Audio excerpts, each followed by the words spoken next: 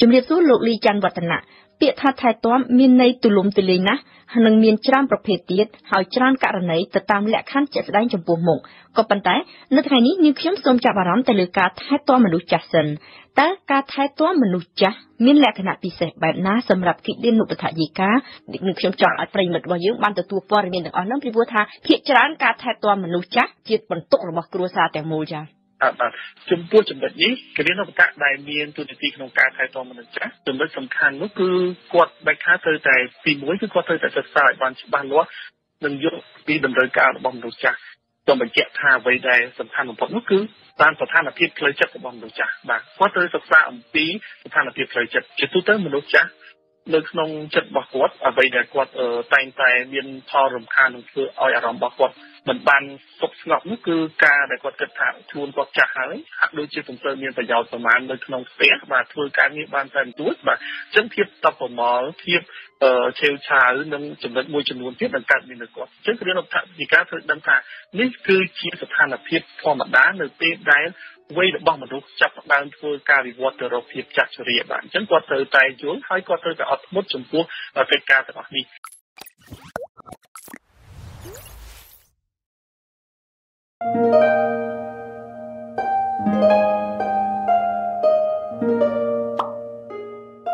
ទីពីរគាត់ត្រូវដឹងថាមនុស្សចាស់ប្រៀបបានជាកុមារកុមារវិញប៉ុន្តែកុមារលើកនេះ គឺជាកុមារដែលដឹងនឹងឆ្លងកាត់របស់ពិសោធន៍ជីវិតទាំងអស់រួចមកហើយតែត្រឡប់មកវិញគឺហេតុអីបានថាគាត់កុមារបាទអញ្ចឹងយើងមើលតែទៅលើរូបកាយទៅដឹងហើយអញ្ចឹងពេលហ្នឹងក្មេងរបស់គាត់សម្បាក់អញ្ចឹងក៏អត់មានក្មេងដូចជាកូនក្មេងអញ្ចឹងហើយអ្វីដែលគាត់ការដើររបស់គាត់លែងអាច ដើរបានខ្លួនឯងបានល្អមានចំហហើយត្រូវមានការអ្នកជួយគ្នាជួយដាក់ដូចជាកូនក្មេងពីតូចដែលយើងត្រូវជួយគាត់អញ្ចឹងអ្វីអ្វីរាងកាយរបស់គាត់ត្រឡប់ទៅវិញហើយស្ថានភាពផ្លូវចិត្តគាត់ក៏ត្រឡប់ទៅវិញដូចគ្នាអញ្ចឹងដោយសារតែខ្លួនឯងជាតែគិតថាខ្លួនឯងអត់មានប្រយោជន៍អញ្ចឹងធ្វើឲ្យអារម្មណ៍ឆេវឆាវ បាទអញ្ចឹងគ្រានោះថាត្រូវត្រូវមានការកត់មើលតាមនៅចំណុចនឹងភាពអត់ធ្មត់យ៉ាងខ្លាំងជាចំណុចនេះមុននឹងរៀបចំធ្វើការថែទាំគាត់ហើយការថែទាំមនុស្សចាស់ជាពិសេសដែលខ្ញុំចង់លើកយកមកនោះគឺស្ថានភាពនៃការថែទាំនោះជាលក្ខណៈធម្មជាតិដែលយើងត្រូវទាញវាមកជាដំបូងដូចជាការចាប់ផ្ដើមអំពីទម្លាប់ល្អនៃការហាត់ប្រាណ ទី2គឺទម្លាប់ល្អនៃការទទួលទានបាទអញ្ចឹងការទទួលទានសម្រាប់មនុស្សចាស់យើងឃើញថានៅក្នុងវ័យនេះមានការផ្លាស់ប្ដូរយ៉ាងច្រើនបើមិនជាគាត់ធ្លាប់ចូលចិត្តសាច់ឬក៏សាច់គោឬក៏សាច់ជ្រូកនៅក្នុងវ័យនេះគឺគាត់លែងចូលចិត្តសាច់ទាំងអស់នោះហើយបាទអញ្ចឹងគាត់ឬមួយក៏នៅចូលចិត្តខ្លះមួយចំនួនតែកាត់បន្ថយបរិមាណនៃការចូលចិត្តអញ្ចឹងគាត់ងាកមកទទួលទានរឿងផ្សេងបាទអញ្ចឹងមនុស្សចាស់មួយចំនួនមិនថាសាច់អ្វីទេបាទសាច់ត្រីក៏គាត់លែងចង់គាត់បែរជាទៅឆ្ងាញ់នឹងការទទួលទានបាយជាមួយនឹងល្ងកិនជាមួយនឹងសណ្ដែកដីឬគ្រាន់តែជាមួយនឹងទឹកត្រីទឹកទេសឬក៏ទឹកស្អ៊ីវអ្វីទៅតាមចំណងចំណូលចិត្តរបស់គាត់គឺមានការប្រែប្រួលអស់ទៀតដោយការពីនៅក្មេងដែលខ្ញុំបានជម្រាបជូនហ្នឹងកូនក្មេងចង្ការគាត់ញ៉ាំតែទឹកដោះគោទេអាហារអីគាត់ចង់ត្រូវការគឺក៏បាយទៅទឹកអញ្ចឹងបាទបាទនេះជាចំណុចមួយដែលយើងត្រូវ note ហើយអ្វីដែលខ្ញុំចង់ជំរាបថាហេតុអីបានជាយើងនិយាយអំពីទម្លាប់នៃការធ្វើលំហាត់ប្រាណបាទព្រោះមនុស្សចាស់សរសៃឈាមគាត់ចាប់ផ្ដើមក្រឹង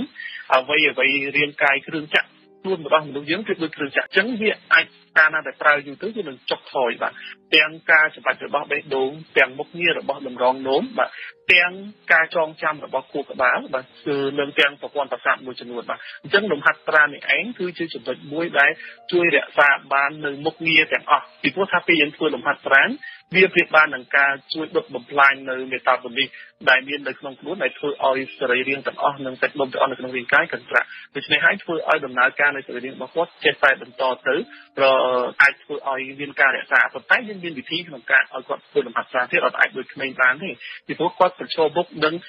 ជំងឺពុកឆ្អឹងជាពិសេសចំពោះស្ត្រីបាទពីព្រោះនៅពេលដែលស្ត្រីអស់រដូវអញ្ចឹងកិច្ចការងារទាំងឡាយឬក៏សង្ការធ្វើការសម្រូបលើសារជាតិកាល់ស្យូមដើម្បីជួយតទងឆ្អឹងរបស់គាត់នោះគឺមិនអាចគ្រប់គ្រាន់ទេដូច្នេះហើយទើបមានផលិតផលមួយចំនួនដែលគេបានផ្សព្វផ្សាយនោះគឺមានទាំងពីកដោះគោជំនួយឆ្អឹងមានទាំងពីថ្នាំវីតាមីនមួយចំនួនដែលត្រូវប្រើបាទអញ្ចឹងធ្វើឲ្យអាការរបស់ពួកគាត់យើងអាចធ្វើជាលំហាត់ប្រាណនៅក្នុងការដើរលំហាត់ប្រាណធ្វើការដកដង្ហើមជាលំហាត់ប្រាណសួតបាទហើយក៏ដូចជាការជួបជុំបាទអញ្ចឹងមនុស្សចាស់សំខាន់ណាស់គេរៀនដល់ថាវិការនៅពេលដែលគាត់ទទួលបានអញ្ចឹងគឺគាត់ត្រូវតែដឹង គឺទាញរកមិត្តភ័ក្តិរបស់គាត់មនុស្សចាស់នៅជិតខាងក្បែរផ្ទះបើសិនជាគាត់ទៅថែទាំដល់ផ្ទះបើសិនជានៅក្នុងមន្ទីរពេទ្យឬក៏បច្ចៈមណ្ឌលមនុស្សចាស់គាត់ត្រូវប្រមូលមនុស្សចាស់មកប្រមូលផ្ដុំគ្នាហើយឲ្យគាត់ធ្វើការទៅជែកពីទីពីនោះហើយនឹងជួយនាំគាត់ធ្វើកិច្ចការងារណាមួយដើម្បីបំបត្តិនៅការអបសុខនៅក្នុងផ្លូវចិត្តរបស់គាត់ដូចជាការបត់កដា ដូចជាការបាត់ក្តារធ្វើជាចាបដូចជាការរៀបចំការឬមួយកិច្ចការណាមួយដែលស្រាលស្រាលហើយគ្មានគ្រោះថ្នាក់សម្រាប់ពួកគាត់នេះឯងគឺជាចំណុចតែគណៈរដ្ឋាភិបាលដែលថែទាំលើចាស់ហ្នឹងគឺគាត់ត្រូវតែមានភាពទីមួយគឺខ្ញុំចង់ជំរាបថាគឺអត់ធ្មត់ជាចំណុចចម្បងទីពីរគឺគាត់ត្រូវចេះ ការងារគេហៅថាការងារឆ្នៃប្រឌិតបាទការងារឆ្នៃប្រឌិតយ៉ាងច្រើនដែលគាត់ធ្វើទី3ដោយសារប្រជាជាតិចក្រកម្ពុជាជាប្រទេសដែលប្រកាន់យកនៅពុទ្ធសាសនាអញ្ចឹងគេរៀននៅផ្នែកការសំខាន់ត្រូវតែគាត់ត្រូវតែ ចេះនៅការ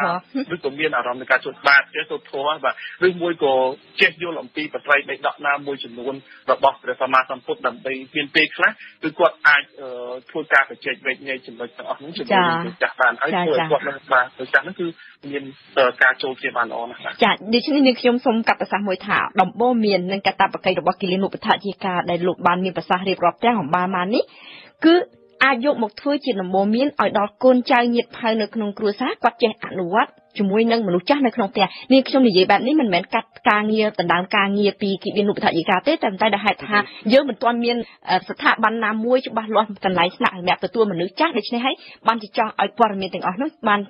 ទទួលដល់បណ្ដាជនគ្រប់រូបណាចា៎បាទបាទបាទជាការពិតណាស់បាទខ្ញុំរីករាយក្នុងចែករំលែកនៅក្នុងចំណុចនេះហើយវាជារឿងចម្បងដំបូងបំផុតហើយបាទដែលកូនចៅឬសាច់ញាតិនិងក្រុមគ្រួសារគាត់ត្រូវដឹងហើយនឹងយកមកអនុវត្តផ្ទាល់បាទដូចជាលោកស្រីបានមានប្រសាសន៍ហើយបាទពីព្រោះថាយើងក៏មានស្ថាប័នណាមួយដែលទទួលក្នុងការថែទាំមនុស្សចាស់ទេហើយយើងក៏សង្ឃឹមយ៉ាងមុតមមថានៅថ្ងៃអនាគតយើងនឹងមានមជ្ឈមណ្ឌលនោះตัวយ៉ាងដូចជារូបខ្ញុំបាទផ្ទាល់ហ្នឹងក៏ខ្ញុំកំពុងតែគិតហើយនឹងព្យាយាមថាថ្ងៃណាមួយនៅពេលដែលខាងយើងមានកលិទ្ធិបត្តិគ្រប់គ្រាន់នៅក្នុងការផ្ដោតនេះគឺយើងនឹងអាចមានមជ្ឈមណ្ឌលមួយនេះនៅថ្ងៃអនាគតបានចានេះខ្ញុំសូមចា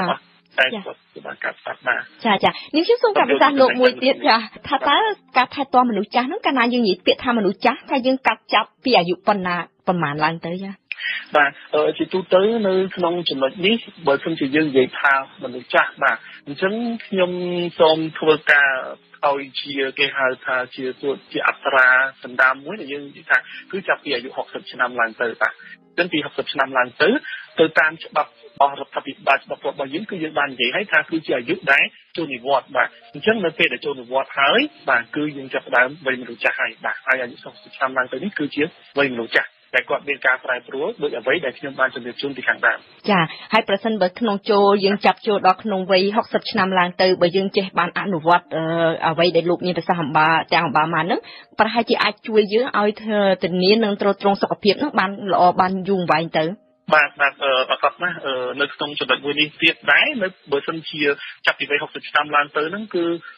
មនុស្សចាស់ទាំងអស់បាទមិនថាស្រីមិនថាប្រុសគាត់បានអនុវត្តនៅអ្វីដែលខ្ញុំបានជម្រាបជូនពីខាងដើមនោះគឺមុខងាររបស់សរីរាង្គរបស់គាត់និងសុខភាពរបស់គាត់នឹងអាចបន្តបានយ៉ាងល្អប្រសើរជាជាងអ្វីដែលគាត់គុំធ្លាប់បានធ្វើហើយនៅចំណុចដែលសំខាន់នោះគាត់គ្រាន់តែទៅរកអ្នកជំនាញដែលជាគ្រានុបដ្ឋជំនាញឬយើងហៅថាអ្នកជំនាញខាងអាហារូបត្ថម្ភដើម្បីទទួលបាននូវព័ត៌មានមួយចំនួនទៀតសម្រាប់ការបរិភោគឲ្យបានត្រូវទាំង មុខចំនួនដែលត្រូវបរិភោគនិងបរិមាណដែលត្រូវបរិភោគនៅតាមចំណុចនេះខ្ញុំសូម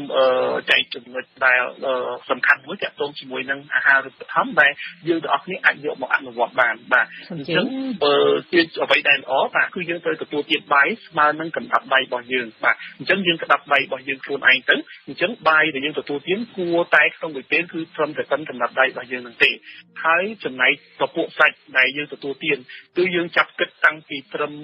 ចុងនៃម្រាមដៃរបស់យើងមកថ្លើមដៃបានអញ្ចឹងជារង្វង់ថ្លើមដៃទាំងមូលហ្នឹងគឺជាប្រភេទសាច់ដែលយើងទទួលទានថាជាសាច់អ្វីទេហើយចំណែកបាត់ដៃទាំងទាំងទាំងមូលតែម្ដងគឺតាំងពីចុងម្រាមលើរហូតដល់ថ្លើមដៃហ្នឹងគឺបាត់ដៃទាំងមូលគឺជាពពួកបន្លែនិងផ្លែឈើដែលយើងគួរទទួលទាន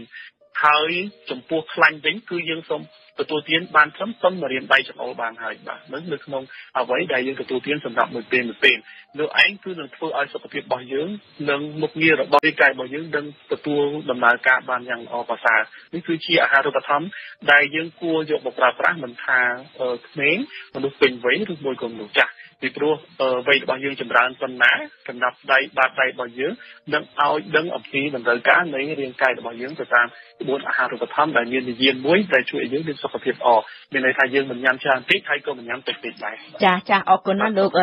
ដែលបានអនុញ្ញាតដែលបានចូលមកធ្វើបទសម្ភាសន៍សម្រាប់នីតិសុខភាពនិងអនាម័យរបស់យើងសម្រាប់ថ្ងៃនេះសូមបញ្ជាក់ថាលោកលីច័ន្ទវឌ្ឍនៈគឺជាគ្រូបណ្ដុះបណ្ដាលផ្នែកវិទ្យាសាស្ត្រថែទាំនិងជាអ្នកសម្របសម្រួលផ្នែកបណ្ដុះបណ្ដាលរបស់មជ្ឈមណ្ឌលគ្រូកសលនៃសាកលវិទ្យាល័យវិទ្យាសាស្ត្រសុខាភិបាលក្រុងភ្នំពេញ